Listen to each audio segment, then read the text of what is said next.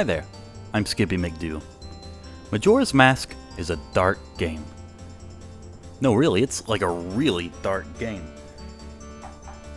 You might even say, and this is a brand new idea, I don't think anyone has ever said this before, Majora's Mask is the darkest Zelda.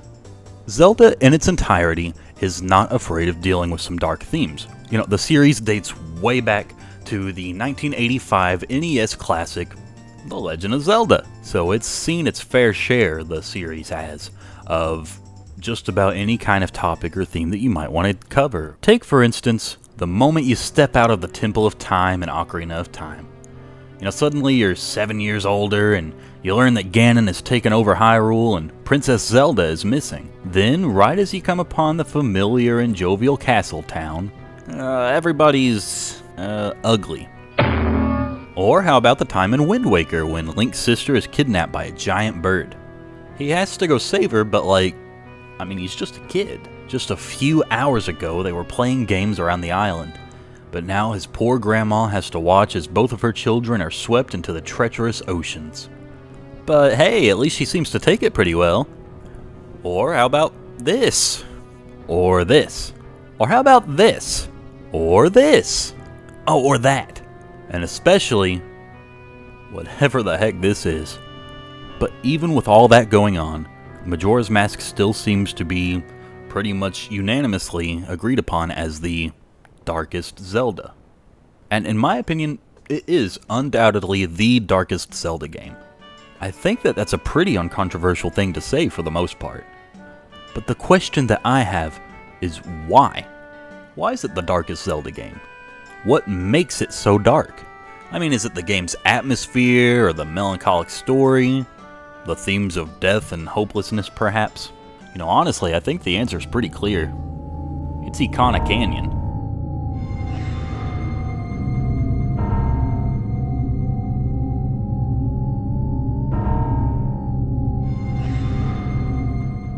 Okay, okay, I mean, yeah, that area alone makes Majora's Mask the king of creepy games, creepiest Zelda game of all time. But I think the answer is a little more nuanced than that. I mean, sure, any game can just throw a bunch of creepy stuff in there and call it a day. Boom! Creepy game. But I think that Majora's Mask is special. The game garnered the cult following that it has today, not just because it was creepy, but because it made us feel things. So here's the deal Majora's Mask is vastly different from any other Zelda game. It's not just that it's dark, it carries with it a very real sense of emotion. So in Majora's Mask, if you focus only on the main quest, you'll find yourself left with a pretty short experience compared to other titles in the series. But the game makes up for this with a wide array of side quests. In the land of Termina, almost every single character you interact with needs something. This is a land full of people who are hurting. Tragedy looms around every corner. Things are not well in Termina. And most of these misfortunes are the product of Majora's wrath. Take, for instance, the Southern Swamp. In the Southern Swamp, the water has become poisonous, rendering the land impossible to traverse for anyone other than the native Deku scrubs. To make things worse, the Deku princess has been kidnapped and is being held captive in the recently monster infested Woodfall Temple. On the other end of the swamp, a defenseless witch has been knocked down by an unknown perpetrator, and she is unable to make it back to her feet. Thankfully, Link is here to save the day. He saves the old witch and goes on to rescue the princess, ridding the swamp of its poisonous bog in the process. Then, over in the mountains to the north, the normally beautiful and sunny region has been engulfed in its own ice age. The mountain, and even some of its residents, have been frozen solid. The leader of the Gorons in the area has gone missing, and his infant son has grown inconsolable.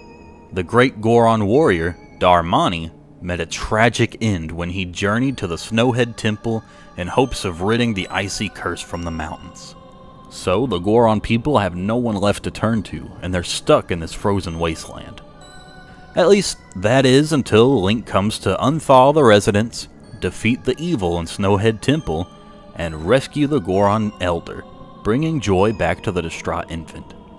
And Darmani, though he was unable to protect his people, is given peace as he knows that the evil has been vanquished. Though unfortunately, the same peace has not come to the Zora of coastal Termina. Here, we meet a rock band formed entirely of Zora musicians called the Indigo Goes. They've been rehearsing diligently to prepare for their performance at the Carnival of Time. But unfortunately, there have been some tragic events that have completely halted all progress. Lulu, the band's lead singer, has lost the eggs containing her seven children. The eggs in question have been stolen by the Gerudo pirates in the area. The worst news, however, is that her partner and father to these children, Mikau, has tragically lost his life in search of these eggs. It is up to Link to locate these children, some held captive by pirates, and some hidden at the bottom of the ocean, and return them to their mother. Thus, Link has saved the day, and ensured that Mikau did not die in vain. Then, completing our circle around Termina, around Clocktown, we head to Ikana Canyon. When the Link arrives to Ikana Canyon, a scientist... Uh, you know what? Actually, I think there might be a better way to go about this. I think I'm just going to show you exactly what happens here. Because everybody who wants to talk about Dark Zelda needs to see this. But I will warn you. This scene, when I was a kid, gave me nightmares. So, uh...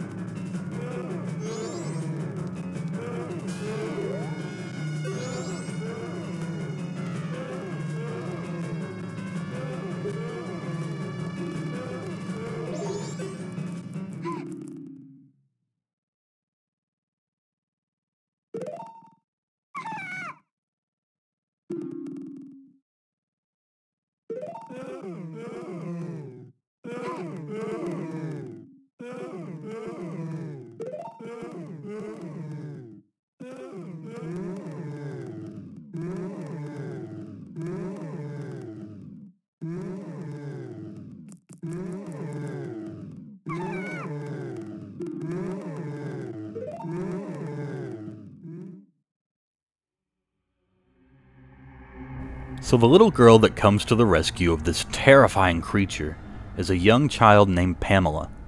That monster? It's her dad. Her father is a scientist who has consumed himself with his research of the bizarre arrival of undead beings in the area. Tragically, this research has taken him too close to the undead, and he himself has become a victim of its curse. Young Pamela, fearing for her father's life, has locked him in a closet in her basement and is hiding in the house. The nearby Gibdos in the area, which are basically mummies for anyone not familiar, can smell the presence of a being that is becoming just like them. Not quite human, not quite Gibdo. They want to change that. The Gibdos circle the house incessantly, attempting to make contact with Pamela's father. Thankfully, Link once again comes to save the day. His duty is to make his way into the house and play the magical Song of Healing on his ocarina, healing the curse and reuniting Pamela with her father.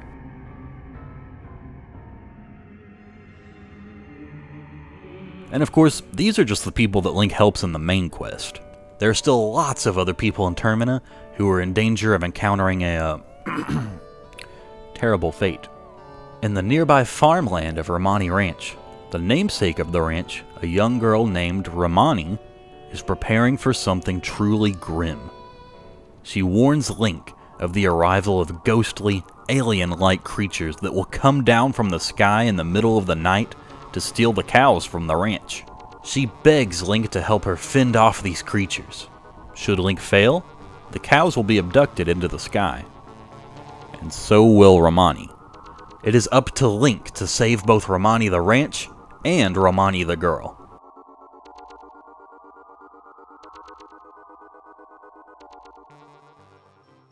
Then taking a trip back over to Clocktown, on the night of the first day, the old lady who works at the bomb shop is struck by a thief named Sakon, who steals her wares. Unless Link is there to stop it. Then there's the man who cares for the chickens at the ranch, who is desperate to see his baby chicks become chickens before the potential end of the world.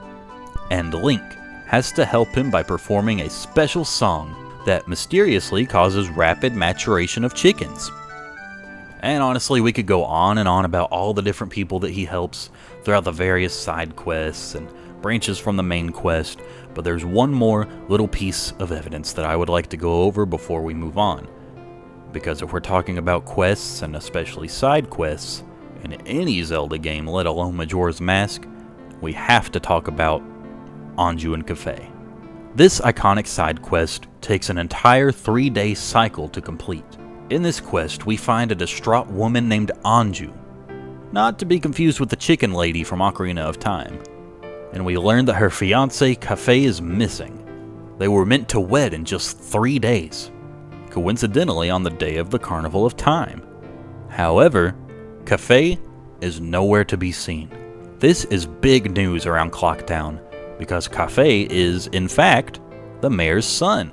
We learn that Kafei has been in hiding because Skull Kid has placed an evil curse on the poor man, transforming him into a child.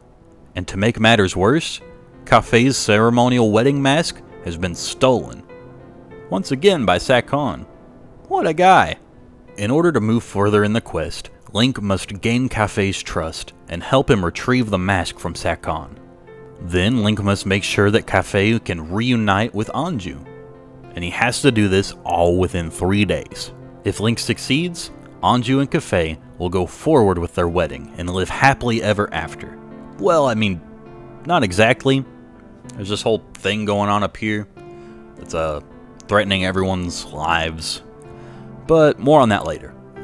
Of course, if Link fails even one of the many objectives in the three day side quest, the marriage is doomed and the two are forced to face the approaching apocalypse completely alone and heartbroken.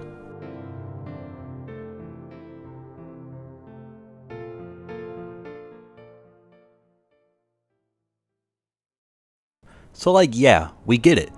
Link helps a lot of people in this game, and there are a lot of dark things that happen to people.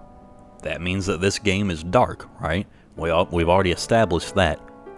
Majora's Mask is a very dark game because dark things happen to people in the game and Link is able to save these people from these dark occurrences happening. But he does that in every game, right? Every single Zelda game, you're helping people. The main quest is something like destroy Ganon, and then you have to go through and you have to beat up all these different bosses and and rid the curse from all these different lands. But in this game, it's different. All right, uh, work with me here. Majora's Mask is a little more intimate than other Zelda games. Everywhere you look, there's another character ready to tell you their story and interact with you. You make friends and enemies in this game. You become a part of these people's lives. In Majora's Mask, you are in close quarters with the characters around you. The world is small, and there's a lot of characters within its walls. And that small world size means that many of the characters know each other, even if they live in totally different parts of the game. For instance, the thief, Sakon, that we keep talking so much about, it's confirmed that he is actually working with the man who owns the Curiosity Shop. It's also confirmed that Anju is the best friend of Cremia, Romani's big sister and the proprietor of Romani Ranch. And the manager of the Zora band, the Indigo-Go's, remains in close contact with the Mayoress of Clocktown, also known as Kafei's mom, in preparation for the upcoming Carnival of Time.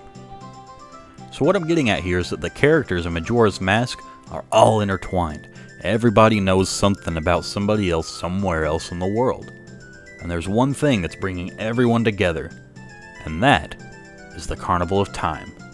This is a massive event in the land of Termina, and it takes place three days after the day that Link arrives in Termina. You know, too bad that it also just coincidentally happens to be um, occurring on the same day that everybody is going to be uh, going to the moon. But because of this coincidental timing, the Carnival of Time serves as the good ending, so to speak. The Carnival of Time is an ancient tradition shared by all of the cultures across Termina.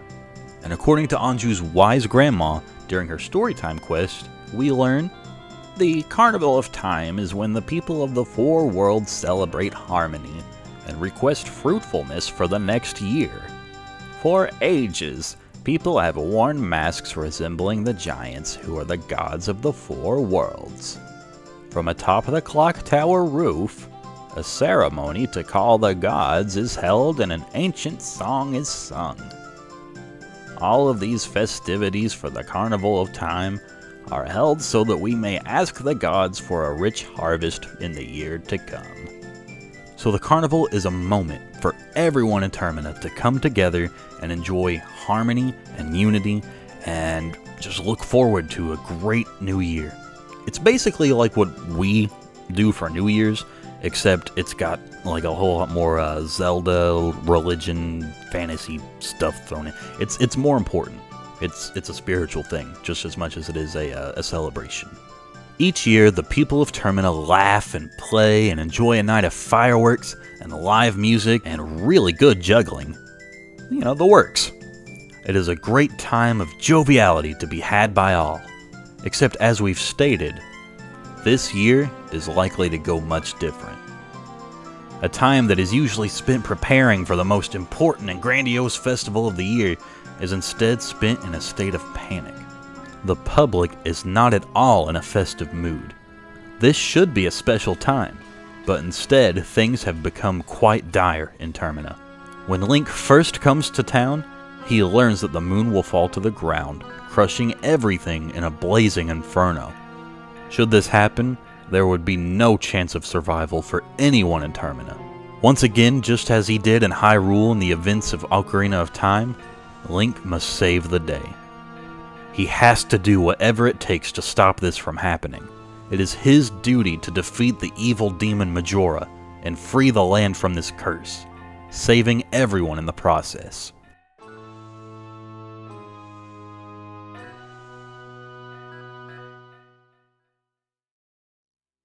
And uh, a, a, little side note here. Uh, so you're probably thinking about how um, so the moon's gonna fall on the world, right? Like everybody's everybody's in the world, and the moon is just gonna.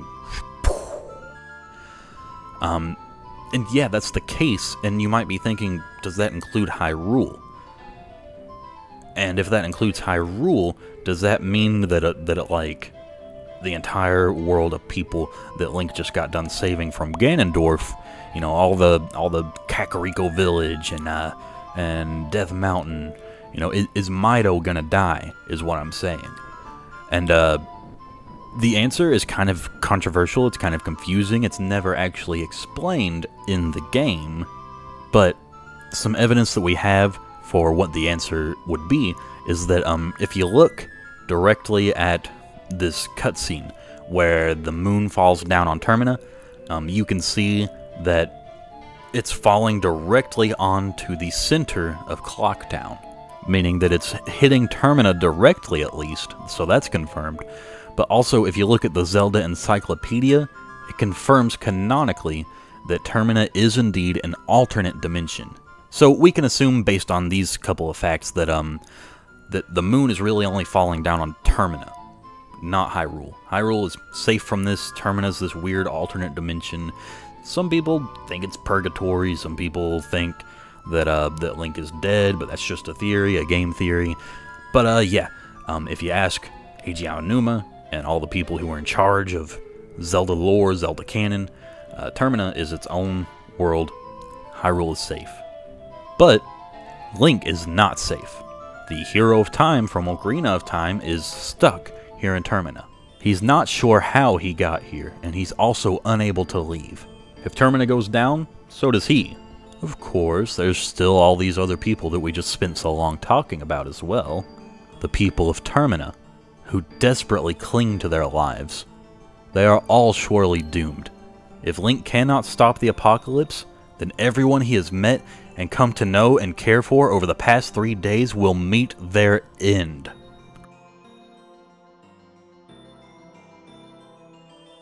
Alright, so before we go any further, what does all this mean? I mean, yeah, the player has a ton of side quests that they can do, and Link meets a ton of characters that he can interact with and learn everything about, and like, we really care about them. Like, it's safe to say that the characters in this game are a lot more alive than the ones in Ocarina of Time. You know, in Ocarina of Time, they're just kind of the NPCs there to tell you about how the world works and, and be like, oh, well, if you press B, then you can open a door.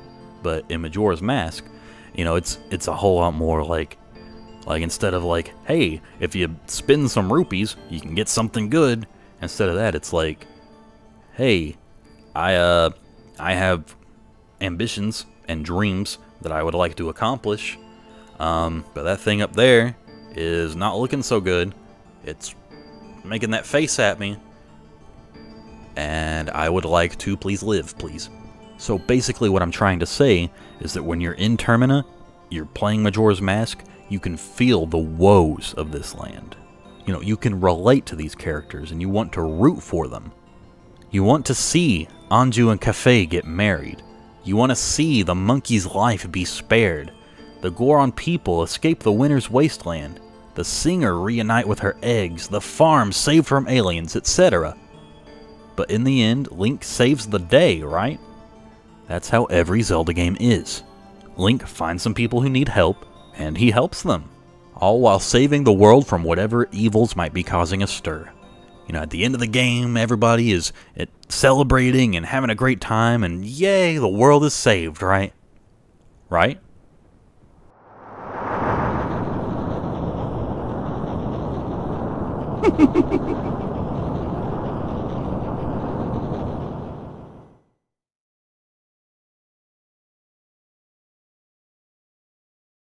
You've met with a terrible fate, haven't you? Those eight words might as well be the tagline for Majora's Mask. It's the emotional synopsis of the game, the crucial piece of the Majora's Mask experience. The happy mask salesman utters this chilling phrase every single time the moon falls to the ground. Take that in for just a second. Every time the moon crashes to the land, not once, not twice, but every single time that Link is unsuccessful in defeating Majora. And defeating Majora is no small task either. So, for those who aren't familiar, here's how the game works. In order to defeat Majora, Link will need the assistance of the four giants who watch over the land of Termina. One in the swamp, one in the mountains, one in the ocean, and one in the canyon. This means completing four temples, defeating their respective bosses, and collecting the remains which provide access to the giants. Not only that, but Link must accomplish tasks leading up to each of these temples before he can even gain access to them.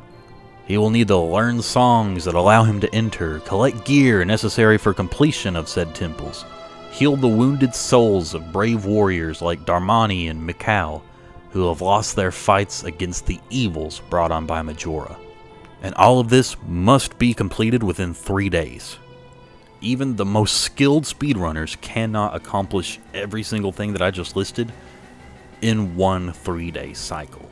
I mean, that's debatable. Speedrunners can do a lot of crazy things, and uh, and yes, some of them can beat the game in three days, but uh, the average player of Majora's Mask is not a speedrunner who knows how to beat the game in three days. To the average player, Link, controlled by them, cannot possibly achieve all that must be done within one three day cycle. Not to mention all of the side quests and various other individuals around Termina in need of some sort of help. Link cannot possibly help everyone in one three day cycle. He will sooner or later have no choice but to play the Song of Time on his ocarina and return to the dawn of the first day. But what happens to everybody else? Like we just said, Link is safe. But what about all of those people that he just left behind when he played his song and teleported back to the dawn of the first day. I mean, sure, we see them in town right now. You know, they're having fun, playing, and laughing. It's the dawn of the first day. Everybody's having a great time. But these same people were just fleeing town, terrified of the fate that lay ahead. Now, Zelda as a series is no stranger to the concept of alternate timelines.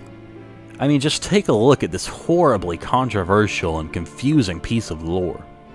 So, with that in mind, why should we assume that this time, the scenario Link just left behind when he played the Song of Time isn't canon? Of course it's canon. This isn't new for Zelda games either. I mean, The Wind Waker and A Link to the Past both canonically happened within the Zelda universe, even though they were in completely different timelines. So, with all of that in mind, we can deduce that the timeline that Link just left behind when he played his song, that timeline still exists, and it's canon. And Link is not there. Link left. The characters who were just fearing for their lives didn't just reset or travel back in time alongside Link. No. In these timelines, Link ran out of time. Each and every time that Link played the song to take him back to the dawn of the first day, he left a canonical new version of Termina. A new one created every time he played that song. Completely defenseless and without a hero. To face the moon falling down onto the world. Each of these worlds completely without a hero.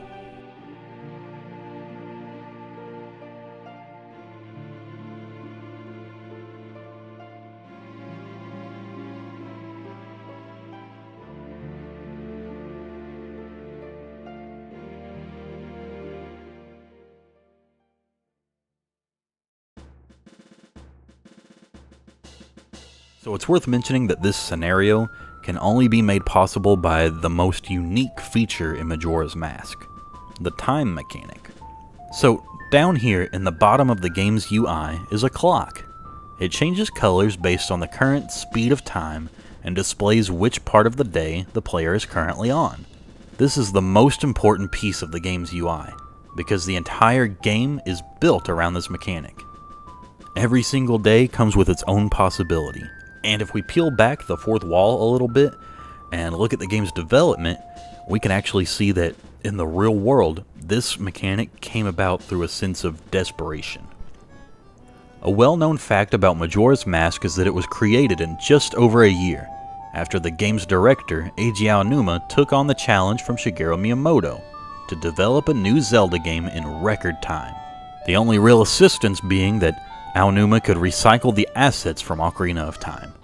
However, even with the assets already accounted for, completing the development of such an ambitious game in just a year was an impossible task. But still, it was a task that must be done. Aonuma got to work and began casting out pieces of the game's foundation.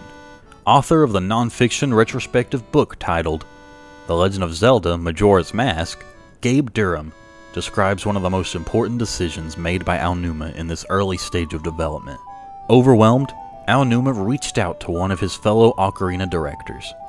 Yoshiaki Koizumi was already in the early stages of designing an exciting new board game about cops trying to catch robbers in a limited amount of time. One where, as Aonuma put it, you would play in a compact game world over and over again. However, Aonuma pitched the new Zelda game to him anyways.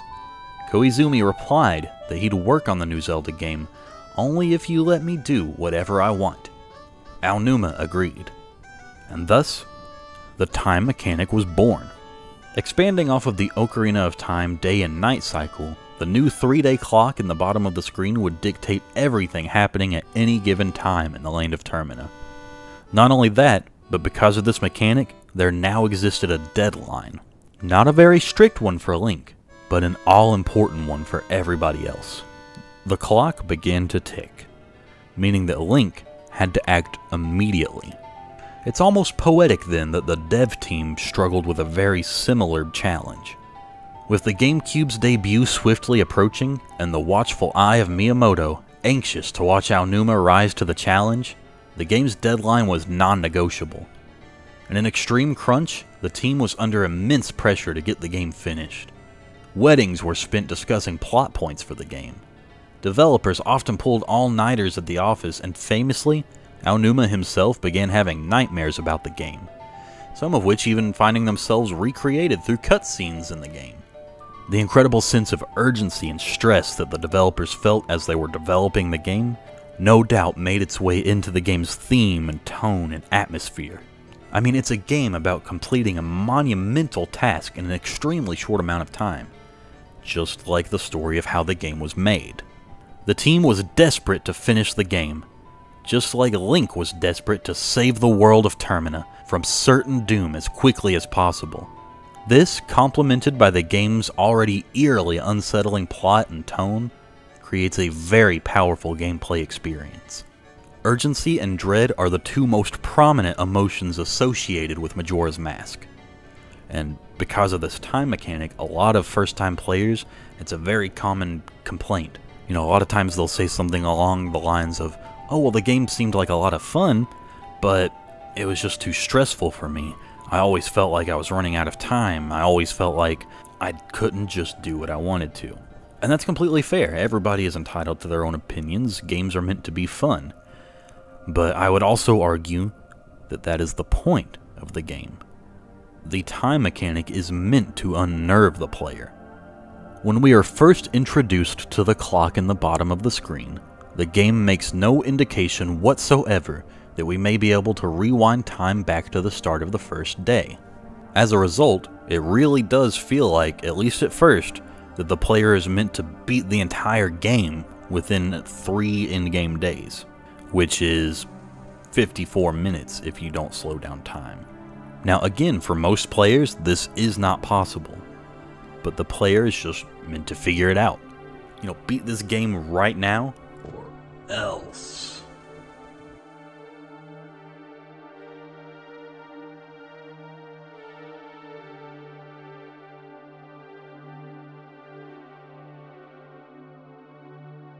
So I think it's safe to say that we found our answer. What makes Majora's Mask the famous darkest Zelda game? Like, why do so many people associate this game with fear and dread and helplessness and horror and existentialism? Well, the answer is the three day cycle. It's the thread that binds all of those emotions to the core of the game. I mean, let's imagine, without the time limit, without the three day cycle, Majora's Mask is just like any other Zelda game. I mean, sure, the moon is going to fall at some point if Link doesn't do something about it, but he also doesn't have to do that now.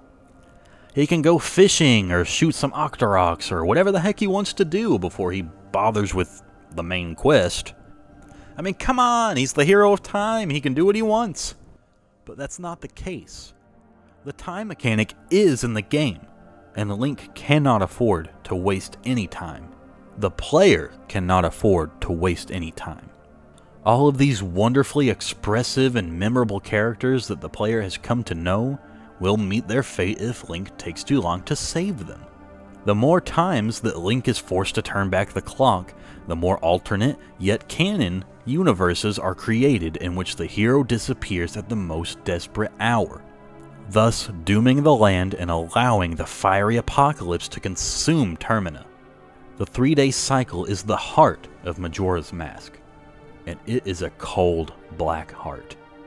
It's what sets the game apart from every other Zelda game. It is Majora's Mask. The three day cycle is what makes Majora's Mask the darkest Zelda game.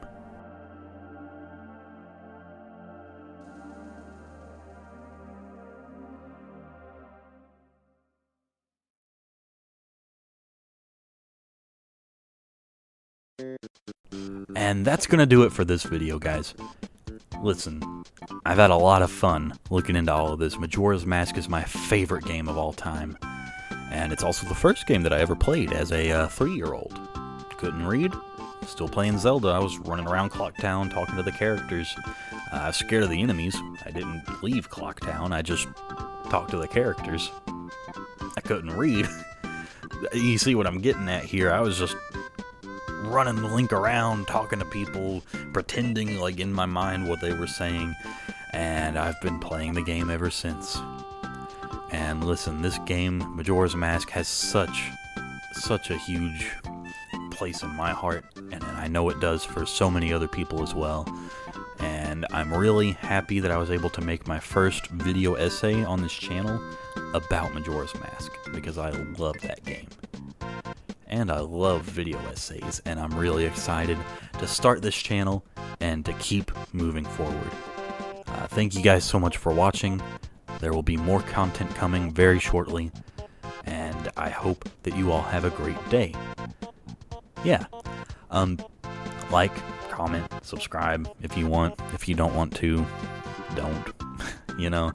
But if you do want to, it would help me out a lot because I am a brand new channel and once again, I just want to thank you for watching my video, and I hope that everything is peachy keen. I hope that the moon doesn't fall down on you. I'm just rambling at this point. I'm just talking to you. Words flying at you a million miles a minute, right? Uh, at this point, I'm just padding for time, and that's not what I'm trying to do. So I will see you later. Bye.